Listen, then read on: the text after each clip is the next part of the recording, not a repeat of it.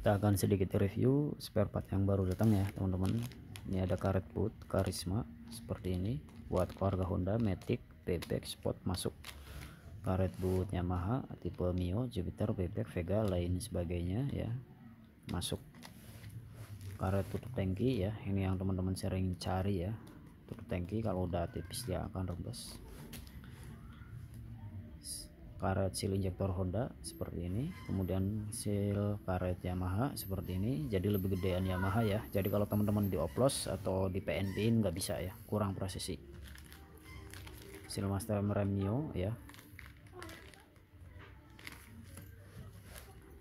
Skun kepeng buat kiprok tutup oli Mio skun bulat buat aki ya ukuran 8 mili bautnya. Gear depan karisma ataupun bebek supra. Per standar tengah. Selang vakum buat pembuangan bensin. Jenis matic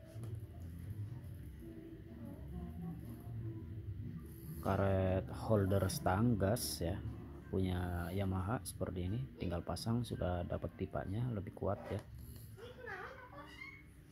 Kanan kiri oke cukup sekian terima kasih